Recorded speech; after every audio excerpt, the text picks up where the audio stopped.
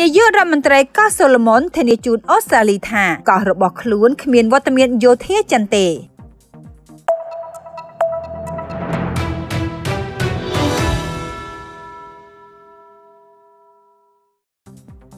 នាយករដ្ឋមន្ត្រីកោះសូឡូមុនលោកម៉ាណាសេហ្សូកាវ៉ាបាននិយាយកាលពីថ្ងៃសុក្រថាលោកបានធានាដល់ប្រទេសអូស្ត្រាលីថាប្រទេសរបស់លោកនឹងមិនអនុញ្ញាតឲ្យមានវត្តមានយោធាចិននៅក្នុងទឹកដីរបស់ខ្លួនឡើយប្រទេសដែនកោះនេះបានក្លាយជាចំណុចកណ្ដាលនៃចំនួនការទូតនៅមហាសមុទ្រប៉ាស៊ីហ្វិកភាគខាងត្បូងរវាងសហរដ្ឋអាមេរិកអូស្ត្រាលីនិងសម្ព័ន្ធមិត្តរបស់ពួកគេនៅម្ខាងនិងប្រទេសចិនដែលបង្កើនឥទ្ធិពលកាន់តែខ្លាំងនៅម្ខាងទៀតនាយករដ្ឋមន្ត្រីអូស្ត្រាលីលោកអាន់តូនីអាល់ Ben បានជួបលោក Zokawa នៅក្នុងទីក្រុងកង់បេរ៉ាកាលពីថ្ងៃប្រហ័សដើម្បីសម្រួលទំនាក់ទំនងដែលត្រូវបានបែកបាក់ចាប់តាំងពីកោះ Solomon បានចុះហត្ថលេខាលើកិច្ចព្រមព្រៀងសន្តិសុខជាមួយទីក្រុងប៉េកាំងនៅឆ្នាំនេះដែលជាសកម្មភាពដែលបង្កឲ្យមានការភ័យខ្លាចចំពោះវត្តមានយោធារបស់ចិននៅក្នុងតំបន់លោក Zokawa បាននិយាយនៅក្នុងការឆ្លើយតបជាលាលាអសរទៅកាន់សំណួរដែលផ្ញើដោយទីភ្នាក់ងារសារព័ត៌មាន AFP ថាអំពីប្រទេសចិននេះគឺជាបញ្ហារសើបដែលយើងបានពិភាក្សា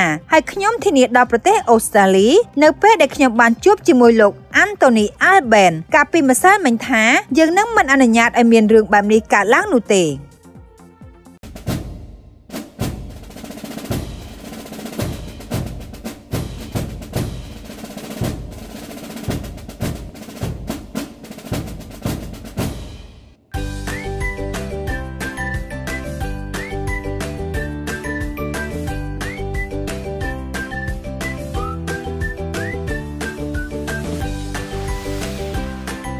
ថ្នាំលាបគុណភាពល្អបំផុតអុយ90ផ្ដល់ពណ៌ភ្លឺស្រស់ស្អាតដូចចិន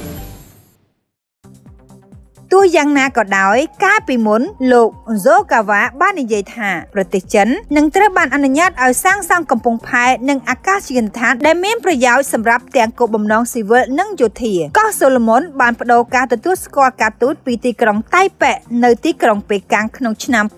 2019ហើយបានចុះហត្ថលេខាលើកិច្ចព្រមព្រៀងសន្តិសុខរបស់ខ្លួនជាមួយប្រទេសចិនកាលពីដើមឆ្នាំនេះទំនាក់ទំនងរវាងកោះសូឡូមុននិងអូស្ត្រាលីមានភាពតានតឹងក្នុងប៉ុន្មានខែថ្មីថ្មីនេះនៅក្នុងខែកញ្ញាទីក្រុងកង់បេរ៉ាបានស្នើជួយផ្ដល់មូលនិធិដល់កោះសូឡូមុនរៀបចំការបោះឆ្នោតជាតិនាពេលខាងមុខប៉ុន្តែពេលដំបូងលោកហ្សូកាវ៉ាបានថ្កោលទោសប៉ុន្តែក្រោយមកទទួលយកបានរដ្ឋាភិបាលកោះសូឡូមុនមានភាពរសាបចំពោះការរិះគន់ដល់ទំនាក់ទំនងរបស់ខ្លួនជាមួយប្រទេសចិន។